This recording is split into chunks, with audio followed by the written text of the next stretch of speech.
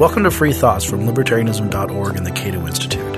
I'm Trevor Burrus, a research fellow at the Cato Institute Center for Constitutional Studies. I'm Aaron Ross Powell, editor of Libertarianism.org and a research fellow here at the Cato Institute. Our guest today is Scott Bullock, senior attorney at the Institute for Justice. Uh, approximately 10 years ago, I think in uh, February, uh, February 22nd, I think, is if I remember correctly. I think that might be right. Uh, you uh, argued, I did look it up, so it wasn't just stuck in my mind, but uh, you argued a case in front of the Supreme Court called Kelo versus City of New London, which has become kind of famous. As Supreme Court cases go, it's become relatively famous.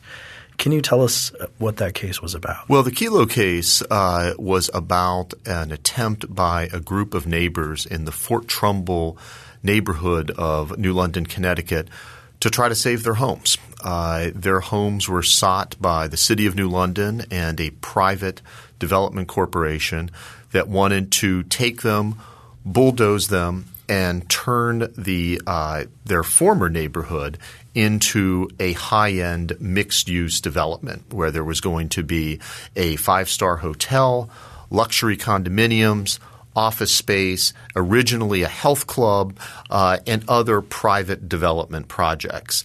Uh, when a group of seven of the property owners who owned 15 parcels of property uh, refused to sell uh, to the city, the city invoked its eminent domain power to take those properties uh, to hand over to a private developer in the name of economic development. And eminent domain is, uh, for our listeners not familiar with that. Sure. Eminent domain is a longstanding power of the government. Uh, it has been called, from the earliest days of, of America, the despotic power power of government because it is one of the most serious and threatening things a government can do to its citizens, short of taking your life or maybe throwing you in jail, to take away your home, your business, your land, uh, is about as, as potentially draconian as it gets. So in the U.S. Constitution and virtually every other state constitution, the framers were so concerned about abuse of that power that they put important limitations on it. And that's in the Fifth Amendment to the U.S. Constitution that says, nor shall private property be taken for public use without just compensation, placing two important limits on the eminent domain power. If the government takes your property, they have to pay you for it. Mean, there's a whole dispute about what constitutes just comp- uh, compensation. But uh, the more fundamental limitation is that the government can take your property, can only take your property if it is for a public use. And most people know what that is. Um, that's a road, a bridge, a public building, uh, sometimes public utilities, something that either the public owns or that everybody has a right to use. Members of the public have a right to use. But over the past 50 or 60 years at the Supreme Court and in many states, that clause, that public use requirement has been watered down, uh, and it led to the Kelo case, where public use was transformed uh, in the Berman case in the 1950s and in the 1980s into public purpose. And then eventually in the Kelo decision from 2005, the Supreme Court said, well, let's read that to mean public benefit. And what are the public benefits? Well, it was supposedly going to be more tax revenue and more jobs created by uh, the uh, by the new development project in New London.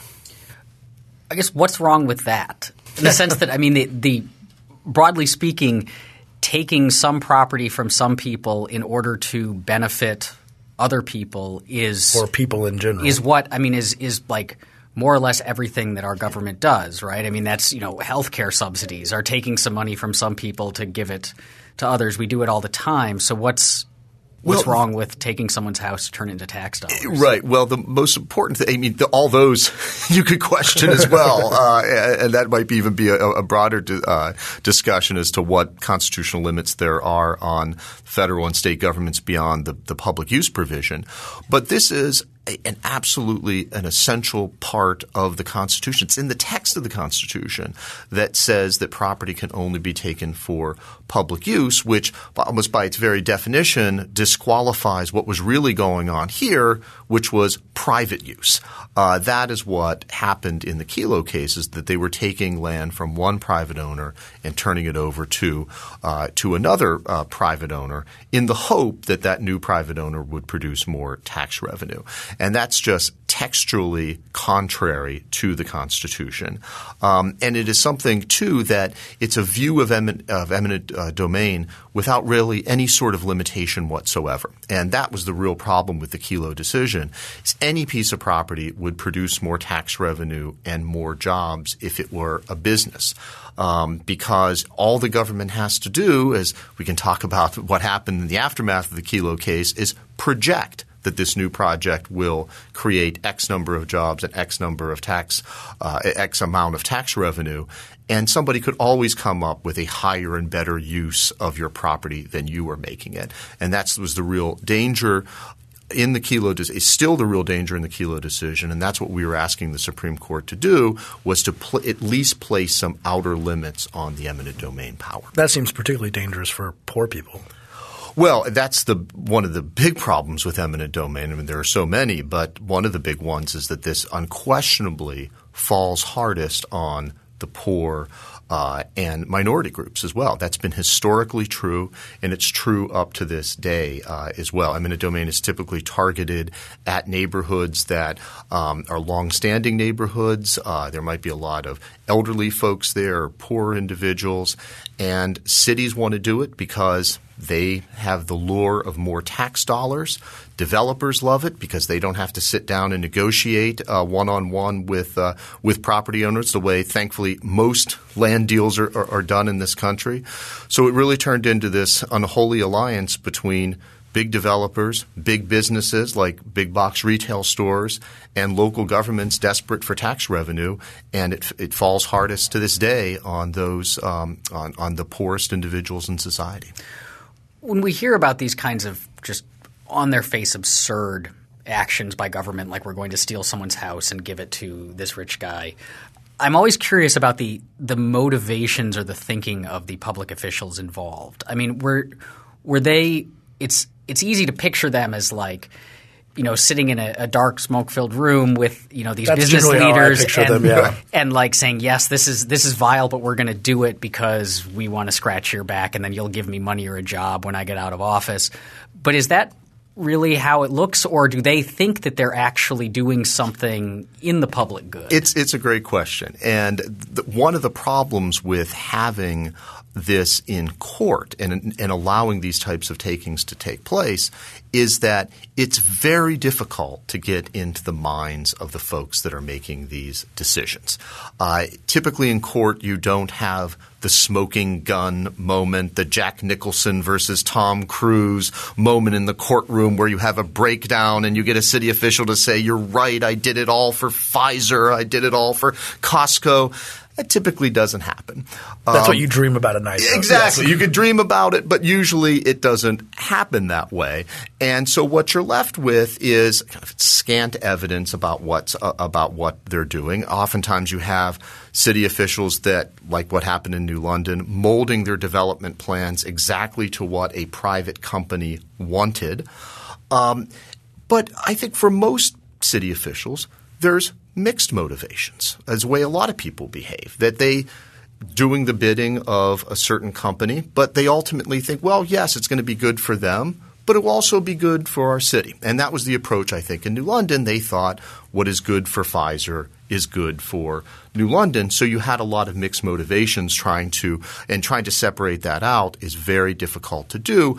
But I, will make one other point about this though too is that what I think was the one of the real problems and frankly tragedies in the majority's uh, opinion is they had a very pristine view of how municipal decision making is done, where they think that well, and they and Justice Stevens in his majority opinion talked a lot about the planning process that the city went through, and they had studies and they listened to everybody and they got approvals from various agencies step by step, and he thought, well, this is you know this is really impressive. And then you had somebody like Justice O'Connor who wrote um, the dissenting opinion, a very passionate uh, opinion, and I, what I would call a very real world opinion as well. And she had been an elected official. Exactly right, because that's something where you know debate is good to have political officials or elected officials on uh, on the Supreme Court. I think in something like this, it was a real benefit, certainly to her opinion, being a state official she knows how these deals go down. Usually they're decided before the public hearings, and most of the kind of approvals that they go through are dog and pony shows because all the very important people got together in town and wired it from the get go. And I think she saw that in a way that many members of the Supreme Court, who I don't even know when the last time they ever attended a city council meeting, uh, did not really understand. So going back, as you kind of mentioned the story a little bit, but but the interesting thing on these cases, especially from you as a litigator side, and also what the Institute for Justice does generally, is how did you find uh, Susette Kelo? How, what what happened in the beginning when you first got your hands dirty? When did you? How did you bring it up through the case? I mean, the whole. You know, how did you bring it up through the courts? When did you start thinking maybe we could bring the Supreme Court? Did that ever hit you, or is it just always a surprise, kind of? Well, absolutely. I mean, from the very beginning of our cases, we uh, designed them to try to maximize the ability uh, uh for us and for the clients to win the case, but then also to set a long term precedent that will benefit other property owners, other Americans that find themselves in similar situations. So we're always looking for those cases that present those opportunities for a cutting edge legal issue, um, sympathetic clients, outrageous facts, and quite frankly, evil villains uh, uh, then as well. And there was no uh, shortage of those in New London, in the New London case or in any eminent domain case that we've ever been uh, involved in. So, now, were you guys keeping an eye out too on the public use part of the of the Fifth Amendment? Ab- absolutely. I mean, that was we got involved in this in the mid '90s, and our goal as a public interest organization was to try to change the law in this area. We thought it was an essential part of the Constitution. It was something that was clearly um, uh, being ignored, and um, and courts for a long time were just rubber stamping whatever governments wanted to do in this area. And so we set out with a long term mission of fundamentally changing the law and changing the court the climate of public opinion to make these sorts of takings unacceptable. So we were looking for cases that would further that uh, agenda and also challenging uh, the outer limits of eminent domain. We also one of the areas that uh, we were looking at is so-called blight cases, and that stems from a lot of the cases in the 1950s where governments declared certain areas blighted and used that as an excuse for taking uh, property, and we wanted to challenge that. But then governments were also uh, just taking land because they said like in New London, we need more tax revenue, more jobs, more economic growth. That's a good enough justification. That's what they were doing in New London, and that's one of the reasons why we picked it. It came to our attention uh, uh, by one of the local activists in the area writing me a letter. And uh, I read it and said, This sounds outrageous. And, uh, and I called him up, gathered more information, and then I traveled up to New London and met the uh, the folks uh, there and uh, brought in uh, other colleagues at uh, the Institute for Justice, in particular uh, Dana Berliner, who was a co-counsel with me on, on, on this case, and that we decided that this would make a fantastic vehicle for. Uh, both challenging the use of eminent domain for economic development purposes and also trying to save these people's homes. And there's even more to to Susette Kelo's story about her house and how she bought it and and her life beforehand. Yeah, I mean it was it was a really an, an amazing story of people who were really tied to their property. And it was for different reasons. You know, up the street from Susette Kelo was the Dery family. They had lived in New London uh, in Fort Trumbull since 1905. Wow. Uh, Wilhelmina Dery uh, lived in one of the homes. She was born in that home in 1918 had never lived anywhere else, and she was in her 80s when the case started. She wanted to die in the home that she had lived in. She got married in the 1940s. Her husband uh, moved in there with her. Uh, her son and his family lived right next door. They owned two smaller homes on this nice little uh, smaller parcel of land that other family members lived in, and sometimes they would rent them out. So their ties to the community were very deep, and their ties to this property were extremely deep, and that meant so much to them. Susette Kelo was in a different boat. She had uh, had actually a pretty rough life um, growing up. She was very poor. She grew up in Maine. Um, she um, got pregnant when she was 16 years old. Um, she got married shortly after that. She had and raised five children before she was 40 and uh, she was trapped in a in a uh, kind of a, uh, a, a marriage that was problematic, and so about around the age of forty, she decided that I'm going to start out on my own. And she went to school. She became an, uh, an emergency medical technician, then eventually went to school to become a nurse. And she said, I want to have a place of my own. I've never owned a piece of property in my entire life. And so she found this little place when she was out on an ambulance run in Fort Trumbull that was run down. Uh, the house was. It hadn't been lived in for, I think, over a year. Um, but she looked at it, looked at the view of the Thames River out onto the Long Island Sound, and said, This is going to be mine and that it was just a great demonstration of the importance of property rights to a broad range of people, especially those who have never owned anything really in their entire lives. Um, and a year after she had bought it, fixed it up, painted it her favorite color of pink, or she would call it salmon, uh, and uh, and moved in.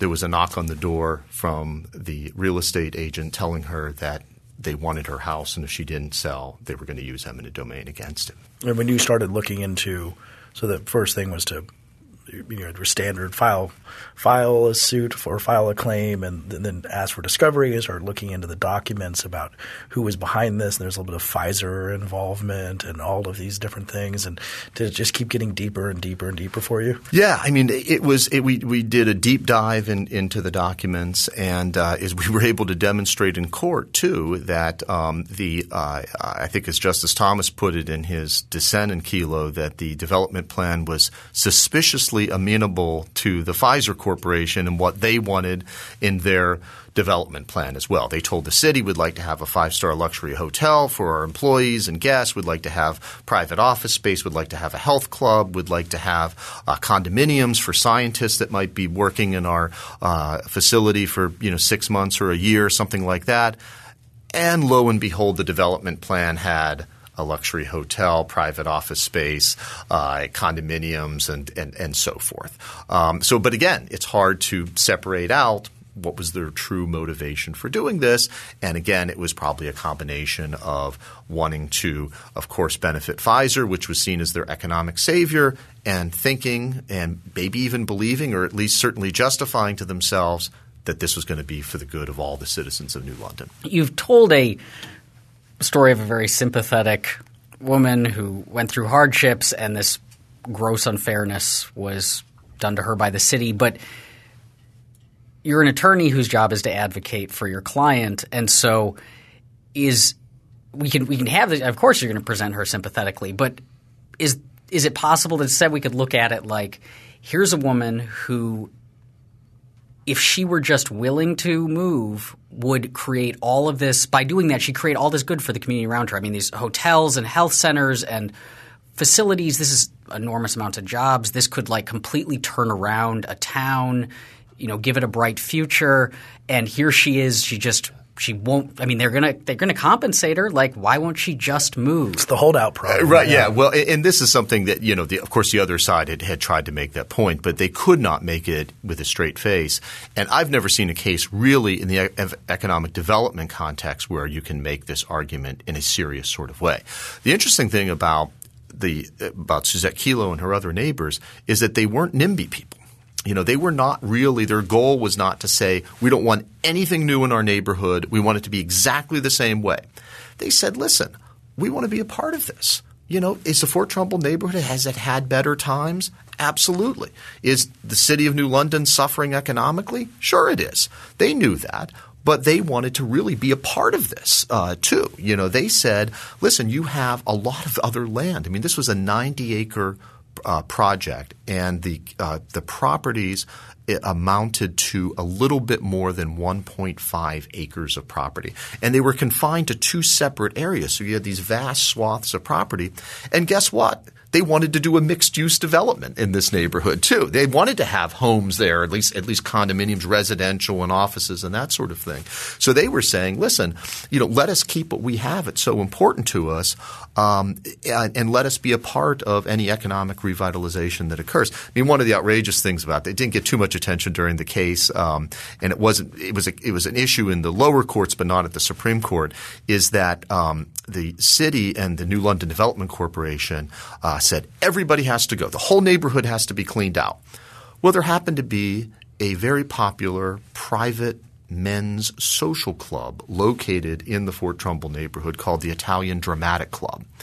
And when and this is a gathering spot for prominent people in New London and political leaders. Every time they came to New London and Connecticut and elsewhere, they would always meet at the at, at the dramatic club. And when the those uh, powers that be found out that the, the Italian Dramatic Club was going to be torn down, they said, "Well, this is outrageous. We have to save the Dramatic Club." And lo and behold, the New London Development Corporation found a way to save the Italian Dramatic Club as a part of the overall uh, development plan, even though the plan did not call at all for a social club, certainly not an exclusive, private, men's only social club as well. It caused Matt Dery, whose family was Italian and lived in the neighborhood for years, to quip that um, their, the approach of the city was that um, the Italian Dramatic Club can stay, just all the Italians have to leave. now, the Dramatic Club, though, I think we maybe missed the uh, the key here because that is the smoke filled room where they planned it all. I imagine. No question. They. Well, they certainly. I, am convinced that they they made the plans to save the club in the smoke filled dramatic club. So, how did the lower courts rule on this? Well, lower courts, it was very divided. Um, we got a, I think it was about 150 page decision from the uh, trial judge in New London. We had a seven day trial in New London, and there was a, it was really a split the baby uh, type of decision. There were two parcels that I had mentioned uh, where the homes were located, and he said the one but where four homes were located could be taken because he agreed that economic development was a public use. But where Susette Kelo's home was, and the Dery homes, and, and actually most of the 11 of the homes were, he said it was unconstitutional to take them because the city had no idea what it was going to do with this parcel. They had no development plans really in place. They said it was going to be, it could be parking, it could be retail, it could be something known as park support, which nobody really even knew what that really was, except for the fact that there was a park located across the street from it. And they said just, his ruling was you can't take people's homes without at least having some idea as to what is going to happen with it. How can you determine whether the takings are necessary, whether it's for a public use? So that was a split decision that went up to the Connecticut Supreme Court. The Connecticut Supreme Court, in a four to three decision, reversed. Uh, well, reversed in, in, in, against the property owners uh, on all counts, and so they said it was a public use, and then reversed the ruling of the uh, judge with regards to where Susette Kelo's home was, saying, "Well, who cares if they have don't have any specific plans for this. And that was actually part of you had to file in state court first. And this is a little bit of like right. legal mumbo jumbo, maybe, but it's an important point, something where we're, we're, trying to fight because you had to deal with the exhaustion of in state court, correct? With the Williamson County yeah, precedent. It, exactly. It was just because they had filed. Connecticut's a little odd because they um, they had filed the eminent domain actions in state court, and then um, you uh, you have to file a lawsuit in Connecticut in state court to raise the the constitutional issues and, and others. And so, yeah, a vast majority of, of eminent domain decisions come from the state courts. We did raise federal constitutional arguments in addition to state constitutional arguments, and that's what allowed us then to get up to the uh, uh, up to the Supreme Court uh, uh, uh, then as well.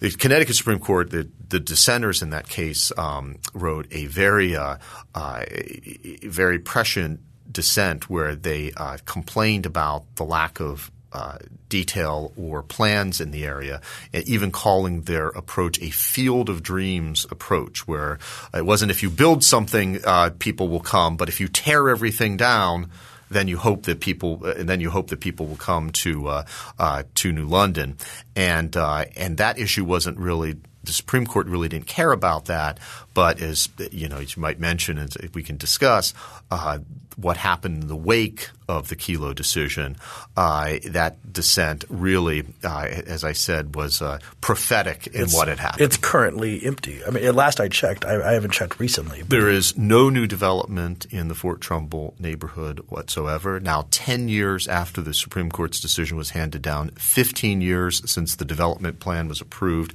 17 years since the uh, uh, project was first discussed, there is no development in Fort Trumbull. The uh, place is a barren field. It is sometimes used as a dump for storm debris when serious storms move through there.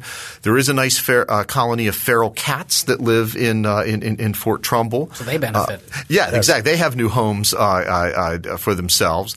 Uh, and the all the homes are gone, and the city has absolutely nothing to show for this. No new tax revenue has been produced, and Pfizer, who was supposed to be the savior of New London, was the linchpin of this whole project. In I believe it was 2009, announced, and the Pfizer facility was next door to Fort Trumbull. It wasn't actually um, the, uh, the takings were not for the Pfizer facility itself. It was next door. In 2009, Pfizer announced that it was closing its New London facility and leaving New London just as its tax abatements were expiring. Now, if I recall correctly, was it one of the majority in the Connecticut Supreme Court decision who later apologized to Susette in person when he when he met her. That's right, and um, I, that was uh, that that did occur. And he said that you know if I would have known then what I know now, and this was several years after the opinion and the outrage and the backlash and the and the lack of development uh, uh, projects, uh, uh, then he said uh, he would have ruled in a different way. Too late, unfortunately, for the folks in in New London um, and the, in the Fort Trumbull neighborhood. But the great legacy that they've left is that the fact that they waged this battle, that they stood up for their rights, and in the process have made a re- very serious – um, transformation of the law in, on eminent domain, where you've had very serious changes to the law because of the backlash and outrage that occurred as a result of the Kelo decision and the fight that they that they waged. So that was a great legacy for the Fort Trumbull property owners to have, even though they themselves lost their homes. Um, homeowners in many states are much better protected as a result of their fight. The Supreme Court ultimately ruled against Susette Kelo, and I'm wondering, did based on I mean in the in the oral argument, did you know then that it was lost? Well, actually, or, first of all, did you go up on on on appeal? Did you were you losing when you went up, or did you win? Yeah, we, we lost. We lost four to three at the Connecticut Supreme Court. But the issue was framed very well. That you know the dissent had talked about how the Supreme Court had not really addressed this issue, and you know it had really framed a lot of uh, state Supreme Courts had come to differing conclusions on it. So um, it was it was a it was a the time was right uh, for it. There was growing public awareness and, and concern about this. Um, a year uh, ago to the day that the uh, Supreme Court agreed to accept Kelo, there was this uh, big piece on 60 Minutes that Mike Wallace did, which is kind of an expose of, uh, of, of, eminent domain abuse. Uh, and that, I think, really raised for the first uh, time the issue to national level that got so many people's uh, attention. And then we got up to the, to the Supreme Court. And to answer your question, I, I, I thought it was going to be 5 4 but I just did not know which way it was going to go. Uh, because the questions were kind of all over the map. There were two justices that weren't there. Justice Rehnquist was uh, sick at the time, and so he wasn't there. And Justice Stevens, ironically enough, who wrote the opinion, uh, had missed his flight from Florida, coming back to the Supreme Court after the break right before President's Day, and wasn't able to attend the argument. So I didn't know where he was going to stand on this issue. And there was a lot of justices that seemed like Justice Breyer, for instance, looking for some type of middle ground um, between um, saying that there was no uh, economic development could never be a public use, but maybe it could not be a public use in certain instances. So um, I thought maybe it could be a very fractured decision where um, you know it would be hard to even find what the rule of law might be on this because it would be divided depending on how far the court was was willing uh, to go. So I thought it was going to be very close, five four. Uh, I was of course hoping for five four in favor of Susette and and her neighbors, but it went exactly the uh, the other way. The one frustrating thing, um, I think, the most frustrating thing for us and, and, certainly for me in arguing the case is that um, I, Justice Kennedy just did not seem very sympathetic to our arguments, and that proved to be true uh, because he ultimately uh, was the fifth vote uh, on the uh, on the court, And I just didn't understand why that was the case. He had been a pretty strong advocate for property rights. Uh, he had written in a, in a case, a forfeiture case actually in the early uh, 1990s, um, that individual freedom finds tangible expression in property rights and he just did not seem to be very sympathetic. And that was surprising and, of course, very concerning to us. And the day that the decision came out, obviously, first a ton of disappointment, um, but but then an immediate new plan to, or it had already been discussed, I'm sure, too. We have new stuff. Our quiver is not empty. We have new things to do.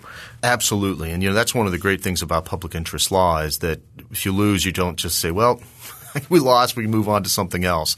We were determined to take this loss and turn it into a victory in the other areas in which uh, we both litigate in state courts um, and uh, also through public awareness and um, grassroots activism and legislative efforts uh, as well. So you're right. We put together a, uh, a plan uh, within a week's time. Uh, we devoted significant resources, both uh, with P- our people and and and financially, uh, to it, and we were going to take what was a genuine outrage about this decision and turn it into something productive as well. And that was something that, you know, when I read especially Justice O'Connor's dissent and how fiery it was and how passionate it was, it wasn't a, you know, a very measured Justice O'Connor dissent. It was clear that she was upset about this, and she wrote it in a way that was going to get a lot of people's attention.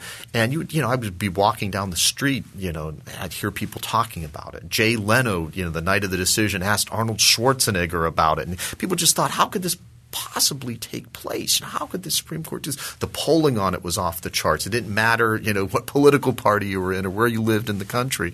We thought this was a real opportunity to try to change the law. Do you see anything going forward of that precedent possibly being shaky? Is IJ pursuing pursuing anything making it might be a little shaky now, possibly? Well, sure. I mean, you know, the the backlash was significant. It wasn't, um, you know, there were uh, certain problems with the, the legislation. You know, um, now if you count both state Supreme Court decisions and uh, legislative and constitutional changes, 47 states have changed their law in some ways, and about half of those states they're excellent protections. They basically shut down eminent domain abuse, not just the Kelo style takings, but a lot of states went even further and changed their blight laws that we were talking about, which is even more than we would have gotten out of a positive decision in Kelo, which was which was fantastic.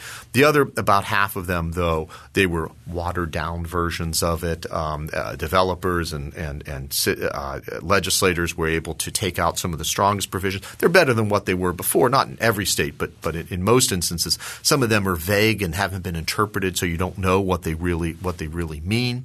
Um, but we are concerned that ten years out from now, even though we've seen these sweeping changes and we've been very encouraged by that, that um, that you're going to see pressure to change back the law. And um, and we're already starting to see that. We have some cases now that we're involved in, that we're looking into because memories fade. Uh, and and you know the commercial real estate market's starting to come back now too. That was another thing that factored into the decline is that um, the commercial real estate market had tanked, and so there wasn't much need for these types of uh, for these types of takings. As that comes back, you're going to see, I think, efforts to yeah. weaken the laws and and cities and developers once again talking about the need to do this. So ten years after Kelo. Um, IJ is now dealing with another form of the government taking people's property. Although I think um, that they've been dealing with the whole time, but we're going to switch yes, gears a little yes, bit here. You know, this is this is Aaron's transition question, but it's, it's working. It's okay. So, yeah, that's right. And and and it happens to be one that's in the news a lot right now, which is civil asset forfeiture. Yes, that was something that you know we've been involved in uh, certainly uh, uh, for a few years. But our intent really was to take this issue, um, sort of like what we did with eminent domain, way we really do with all of our issues, but especially uh, I think the analogy is very appropriate for the eminent domain context. When we first got involved in this in the mid 1990s, very few people had heard about this. Most people were not aware that the government could take your home and give it to Costco or take a business and give it to a, a, a, a condominium developer. And we started a long-term project to try to change the law, raise awareness about this, and get the, the public up to speed on this and get courts more involved in this. And that's exactly what we wanted to do with civil forfeiture uh, as well, to take an issue that most people, probably even fewer people, had heard about this power than they had heard about eminent domain. Some people have this idea, oh, yeah, eminent domain is that when they, they take your property to build a road. Most people have no idea that under civil forfeiture laws, the government can take your property in order to buy a uh, margarita, margarita machine. Right, Yes. exactly. and and they can take your property regardless of whether you have been convicted or even charged with a crime. And then law enforcement gets to keep that property to buy better equipment, go to law enforcement conventions, buy football tickets, or even in uh, certain instances to buy margarita machines. So I'm going to ask you to step back here and and and, and uh, do a little role playing uh, with me because Oh, it's so absurd. It is it is so absurd um, the civil asset forfeiture stuff, but. I, I can he, imagine a listener being like, "It can't be that simple." Um, so, so now you're a, a cop or you're a, a advocate on the other side, and you're explaining how important civil asset forfeiture is. So, what are what are these arguments of like why they need to be doing this? Sure. Well, I mean, they're going to say it's used to stop crime. It's, it helps us catch the bad guys. That um, it's necessary to fight the war on drugs, or you know, fight the war against uh, financial fraud, or or environmental uh, crimes, or any number of things uh, for it.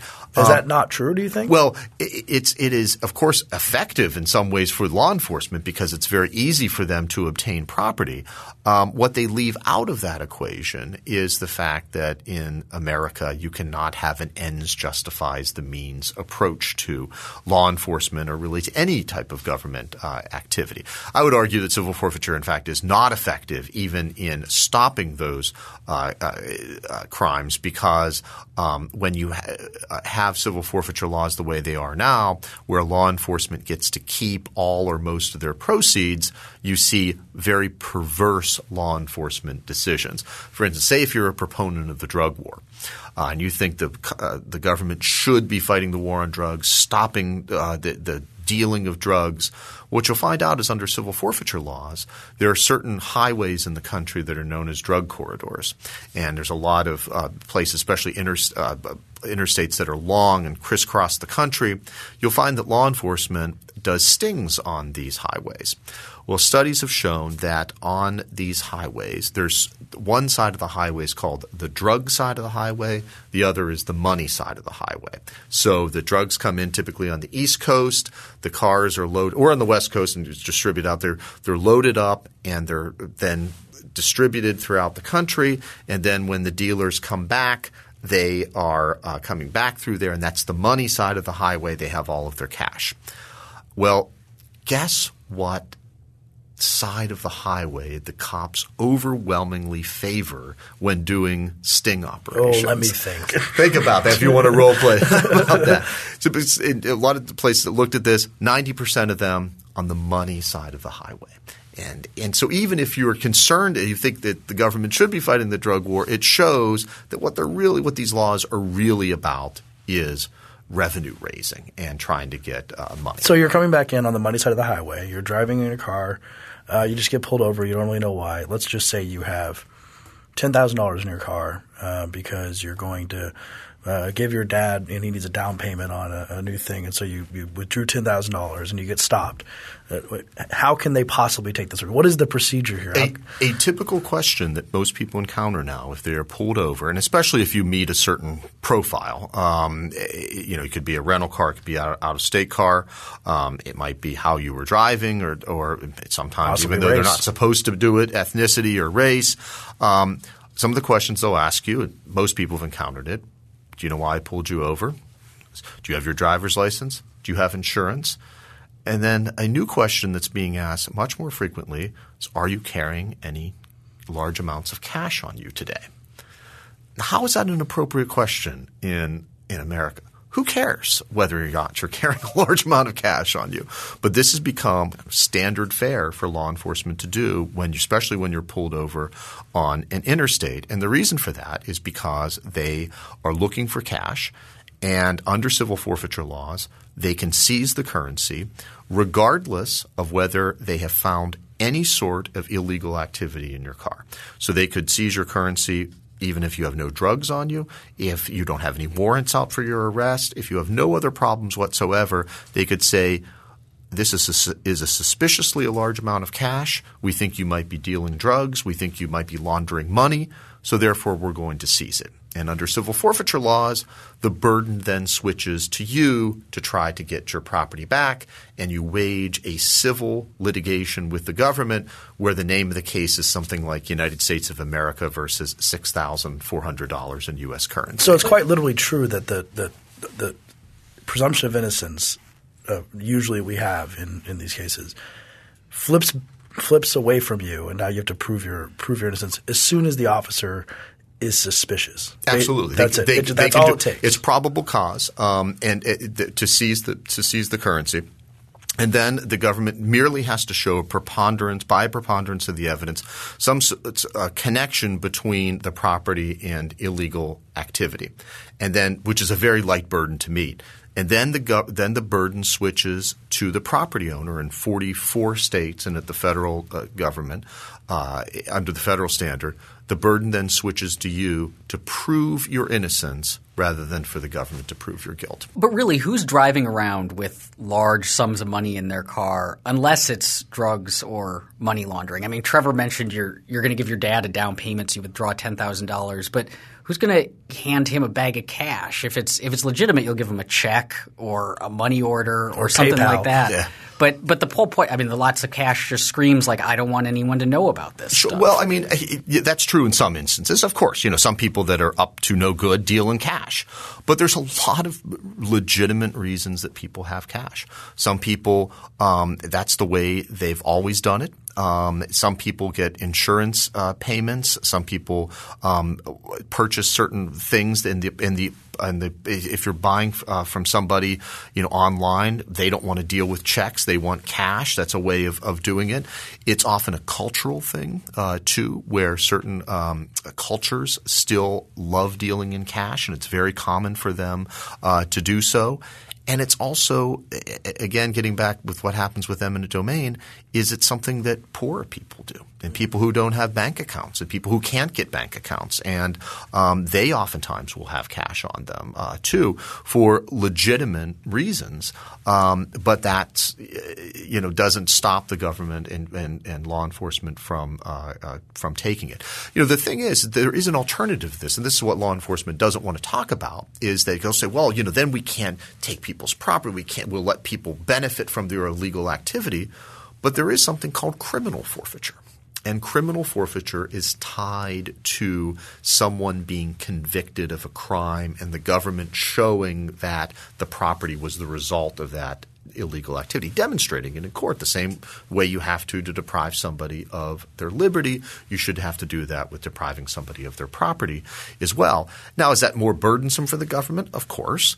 Uh, That's what freedom means. that's right. That's that's why we have a constitution. Is the government has to meet certain has to meet certain standards. So in all those instances, there's the the prospect of criminal forfeiture that would allow the government still to stop people from laundering money or, or dealing drugs or uh, or some other nefarious purpose, and also like something like financial crimes as well. You know, obviously, um, you know, somebody's defrauded investors out of millions of dollars and then bought properties with all of that money, yeah, you you don't want the person to you know then be able to still keep their property if you show that this is because they stole money from people.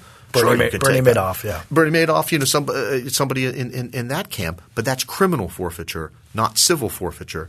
But civil forfeiture is preferred because there's money available and the burden is so much lighter. One of the weirder things about the civil asset forfeiture is the fact that the cops get to keep the money, which seems. I mean, it would be one thing if it was you know, so they they seize your drugs, um, then they have to put those in a locker somewhere, destroy them. They don't turn around and resell them or use them themselves or whatever. Um, and so why when do they get to spend this money? Yeah. Because it's you know they could you could make a case for they take it they think it's suspicious they're going to hold on for a while and then if there isn't a case against you they give it back. Um, but do they? Is there some timeline there? Can they spend it immediately? Do they have to hold it for a certain yeah, amount of time? they typically can't spend it immediately. They can use it oftentimes if it's a car or something they can use. Uh, they they can actually hold on to it and, and oftentimes use it. And these uh, would be the it. cards you see that say like I got. It could be the cards that I got this from a drug dealer. Or something. Right. That's usually after it's been uh, convicted. I mean, uh, one of the numerous problems with civil forfeiture is the fact that because it's a civil proceeding, the government can just file a claim against the, give you a notice and then file a forfeiture action not against you but against the property. And if you don't come in and defend yourself in civil litigation with the government, then the government can win by default. So if you miss the deadline or you don't know how to do this, or you can't afford a lawyer to fight it, or you think this is just too much, I don't want to deal with this, the government can just get a default judgment against you, and then the property automatically becomes theirs, and then they can spend it under the broad rubric of law enforcement. Uh, so typically, they have to wait some period of time before they're able they're able to spend it, but then they can spend it as they see fit, and that was really the fundamental transformation of forfeiture law. And this happened in the mid 1980s at the federal level. A lot of states followed suit with that. Before 1984, um, and uh, went into effect in 1985. But before 1984, the federal level, forfeiture revenue went into the Treasury's general fund. That was changed in the mid 1980s to give a financial incentive directly to law enforcement. And they said, we get to keep everything that we seize. And another quiz, Trevor. Guess what happened as soon as that law hmm. was changed? Did civil forfeiture revenue go up or did it go down? It not only went up, but it skyrocketed in use and it has exponentially increased every year since that occurred. And that's why they're doing this. It's not about fighting crime, it's about raising money. Well, we've seen some of this. I mean, I can imagine a police officer with this incentive who's an unsavory person, especially if it's like ten thousand dollars. Ten thousand dollars is about what a lawyer would probably cost you to. I mean, it's right on the edge of whether or not it's worth fighting. So they say we're going to take ten thousand dollars and we're going to keep it. There's of course this uh, video that went around of the. Uh, of the police officers talking about the musical gear. Did you see this one? Yes, yeah, absolutely. About who right. gets who gets the drum because they raided a music studio and they found some marijuana. They said who gets the drum set.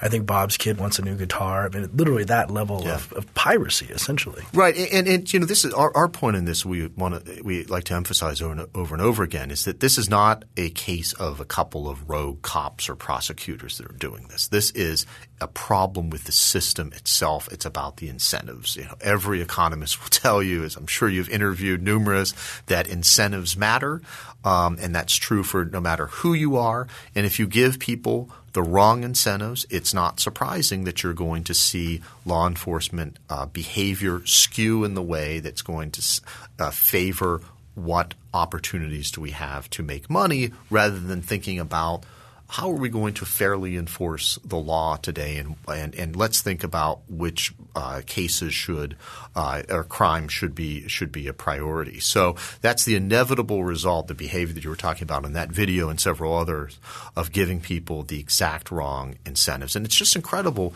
going back and looking when these laws were passed. Everybody thought that this was a great idea. This would be wonderful. You know, we'll let the you know the drug dealers and others will have to pay. You know, they they they have to Have to pay for their the own cops enforcement. You know, and and nobody thought about, or very few people, it seems like, thought about the unintended consequences of doing this. But we've seen it play out now over a 30 year period. And now you had another case where the incentives were interesting in the last couple of years They got some news too uh, about a motel Yes. That was was interestingly owned free and clear, uh, and and had a. The case is this is an idea for our listener what they're called United States versus 434 Main Street, Tewksbury, Massachusetts. Uh, can you tell us a little bit what that case Sure. is? That, well, that was a case that just uh, summarized everything that is wrong with civil forfeiture laws. It was a case filed against the property rather than the property owner, and it was a case that was brought about because a DEA agent was looking for forfeiture opportunities online. And he Wait, saw what, is there a clearinghouse for these? How do you possibly it? do this? they, they were well, they, he was looking online uh, at, at crime reports and news stories and that sort of thing, and he saw news and read accounts of the Motel Caswell in Tewksbury, Massachusetts, which is a budget motel. It's been in the Caswell family. That's who the owners of the property were, although they were just sort of interveners in the case, uh, Russ Caswell and his family. Um, it, it, had been in the Caswell family since the 1950s. Uh, Russ bought it from his father in the early 1980s, and his family has run it. And shockingly enough, at a budget motel, there was occasionally drug activity occurred at the motel, in addition to fights and drunkenness.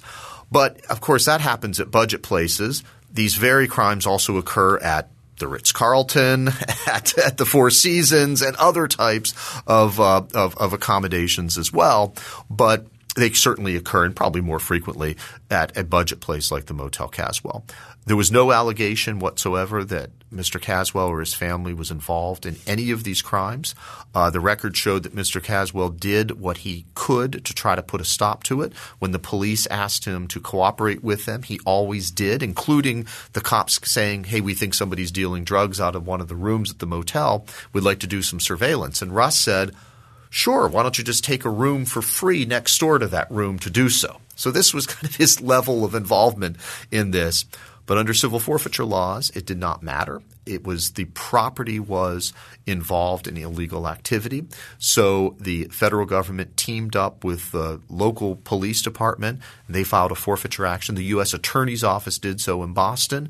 And Russ stood to lose his entire motel because of the actions of independent third parties, his guests, who he had no control over uh, whatsoever.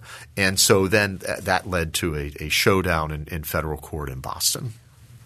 Are there limits to? I mean, this so this case um, you won, but before that, were there limits to like the size of the property? I'm wondering because uh, like this in this case, you can steal a whole hotel because one room was used for drugs.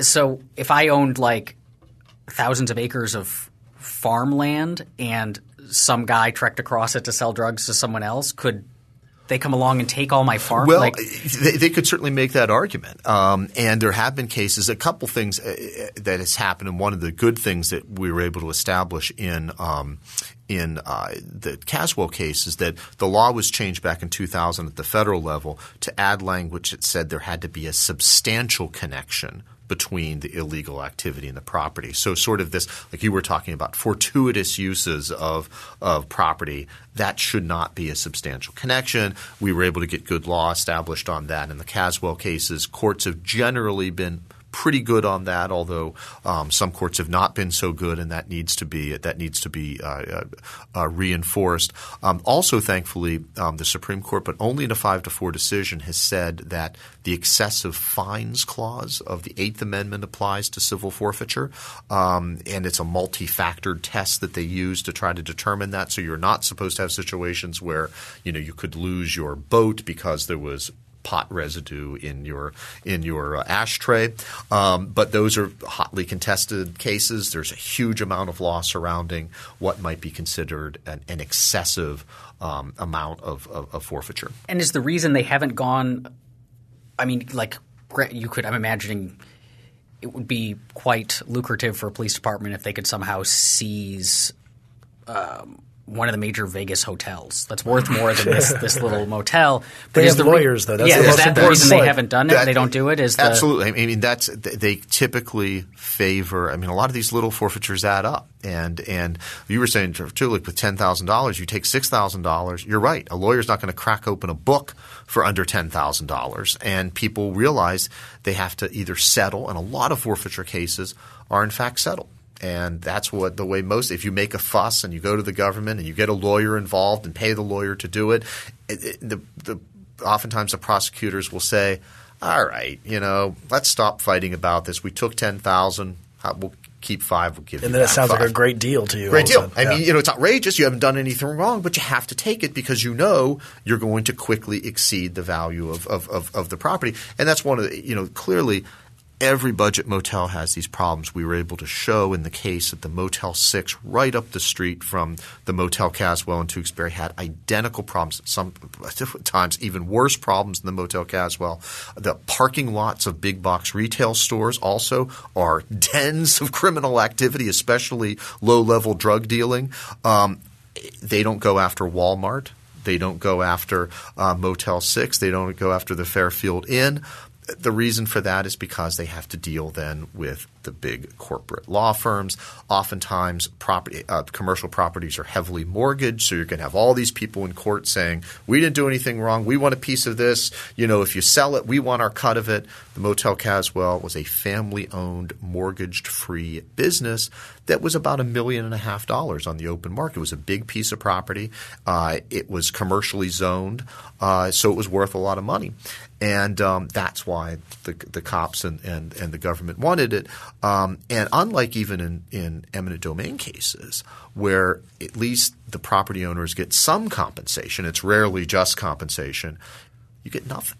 So if Russ and his family would have lost this case, he would have been left with absolutely nothing except a big legal bill, and that was his retirement. That's how most small businesses are. They retire, they sell the property, and that's their pension. Well, if if part of the reason that the cops don't go after bigger players to seize their properties because they're afraid those people will end up in, will, are willing to take it to court and then they would lose, the cops would lose. Then what does winning cases like this one accomplish? If you still, because you still are going to, even if, if the courts say yes, they're not allowed to do this, and then they do it, you're still going to have to use the courts to say no you this was actually a violation of what we've said. Yeah, it, it's an, I mean it gives property owners weapons that that they have you know and it established precedents and this is the Caswell case is a great precedent for property owners to use and ha- they have used it it's been cited in several other uh, other cases and, and certainly some property owners can fight uh, it. One change in the law that occurred in in uh, 2000 at the federal level is that you can now at least get attorney's fees if you're successful in fighting a forfeiture so that's that was a great change uh, in the law that at least incentivizes people to do it.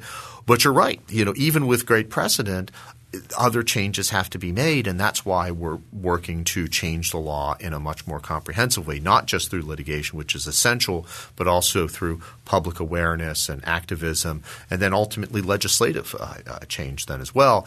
And that's what we're doing in civil forfeiture right now. We started an initiative in 2010 to fight these laws, to raise public awareness of this, um, to do, of course, the, uh, the, the, cutting edge litigation. We've issued several studies that um, document the problems with uh, civil forfeiture. Cato's also done great work in showing um, uh, the very real issues with civil forfeiture, and they've been doing that for uh, uh, for a number of years. And even in the last you know, six to seven months, we've seen this great wave of awareness and outrage building about civil forfeiture, which is leading, hopefully, to changes um, both in the behavior of law enforcement, which we've seen even in our cases with where they've been backing down um, and and returning property that they've unjustly that they've unjustly taken, and hopefully that will lead once again to really fundamental changes in the law.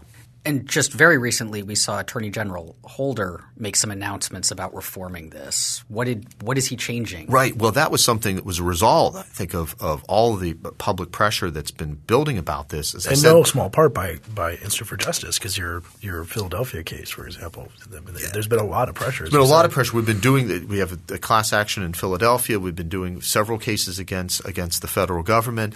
Uh, we've been working closely with reporters that have done great work. There was a whole series series in the Washington Post document especially highway seizures of, uh, of, of currency uh, and other sorts of, of, property that led to that led to uh, serious concern and um, uh, pushback from also legislators uh, and, and, the like. There was also it's gotten into popular culture, uh, and there was a great piece that uh, probably you guys saw John with, Oliver, with John yeah, Oliver, which uh, it did you know a, basically a 15, 20 minute rant against civil forfeiture that's now gotten I think the last time I checked close to four million views on on YouTube. Again, raising awareness of that is one of these things where people hear about and they say, how could this possibly exist? How could they do this?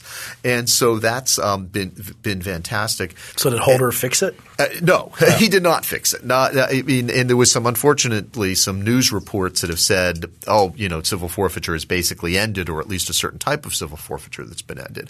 Now he did take, and we have to give him some credit, some credit for um, uh, for curtailing for the first time on his own. You know, for a law enforcement agency to curtail its own powers is pretty unusual.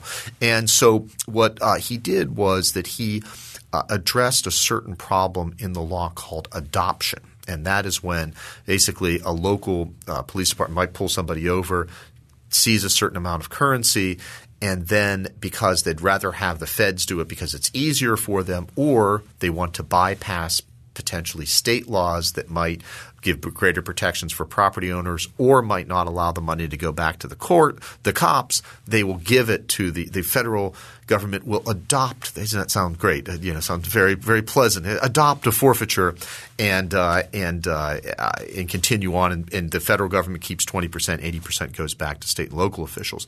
So that was a good change, but unfortunately, that only addresses a certain problem, and um, and uh, we don't quite know the figures yet, but um, uh, exact figures with it. But there was an exception in the law in the in the holder policy that allowed for the creation and and the ability to still do these types of seizures under joint state and local task forces. So as long as the feds and the states were working together, then they could still continue to engage in these types of seizures. And that is a big loophole and one that has to be closed. Now, the Justice Department has said this is not the first and this is not the last thing that they're going to be doing. This is just the first thing they're going to be doing. So hopefully there will be further steps for it. But it also, and what our concern is, is that it not be used as an excuse – for Congress and other legislative officials to say, "Oh, problem solved. We don't have to do anything about this." They desperately have to do something about that, and hopefully that will that will continue, and um, and we'll see more fundamental changes to the law. So this has been a, a interesting sort of tour between two parts of uh, of dangers to property rights. Uh, including my elegant transition between including yes, including that elegant transition. Are you optimistic going forward? You know, I, I am given um, what we've been, we're seeing even in the, as little as the last six months. Um, you know, we've seen great changes in the law in eminent domain, and that's been wonderful to see. Uh, but as Jefferson once said, and as I'm sure just about all of your listeners are, are aware of, eternal vigilance uh, is is the price, and that you cannot just say, "Well, it looks like this problem's solved. We can we can move on and and and and you know stop watching this." You have to stay on this uh, because these can be very fragile gains if if you're not out there always uh, making sure that uh, that uh, constitutional rights are protected. With what's happening in civil forfeiture, it's been very encouraging to see the movement on it, the momentum building. Now it's a question of what's going to change. I think you're seeing courts more willing to look at these seizures in the same way that courts, after years of neglect, started uh, looking more carefully at eminent domain takings. Uh, and you're seeing the public being concerned about this. Legislators now seeing that public pressure have said, we've got to start taking a look at this. One encouraging thing, too, about this is that um, it seems to unite people across ideological divisions. And you're seeing uh, Republicans, Democrats, certainly libertarians that are, are on board with uh, uh, with doing this. Um, but uh, it might be a, an opportunity to put together a true bipartisan effort that would actually be used to uh, curtail government rather than to curtail uh, liberty. So, um, so that's been very encouraging too. Um, the challenge, of course, is what we also faced on eminent domain, we face here, which is a very powerful and very organized opposition to this as well. Law enforcement knows legislators very well. Legislators are very uh, afraid to be on the wrong side of law enforcement in, in political debates. And once you especially start talking about taking away funds, you're going to get a lot of pushback on this uh, too. So that's something that um, I don't think the battle has not been fully um, engaged yet on that. But the progress um, is, has been encouraging, and we've just got to keep uh, the momentum going on this. Thanks for listening. If you have any questions or comments about today's episode, you can find us on Twitter at Free Thoughts Pod. That's Free Free Thoughts is a project of libertarianism.org and the Cato Institute and is produced by Evan Banks. To learn more, you can find us on the web at www.libertarianism.org.